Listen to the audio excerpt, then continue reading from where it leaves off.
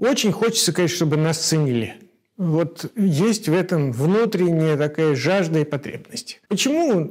У каждого свои причины. Значит, э, кто-то в детстве недолюбленный, кто-то действительно сделал что-то замечательное, интересное, прекрасное. Всем наплевать. Вот я, например, все сделал. Вот. Э, чего только не услышишь про себя. Значит, мы хотим, чтобы нас ценили. Это нормально. Да? Э, и не важно даже причины. Вопрос, значит, как мы позиционируем собственную ценность.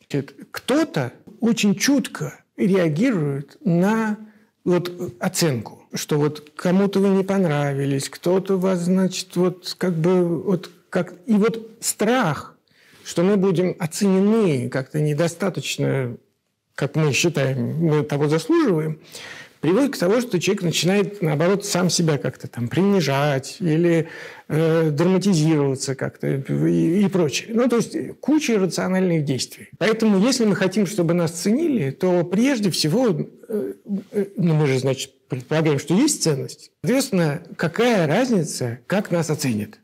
Ну, если мы знаем, что... Если я знаю, что что-то там белое, и, и что мне говорить, что оно черное? Ну, я в курсе, что оно белое.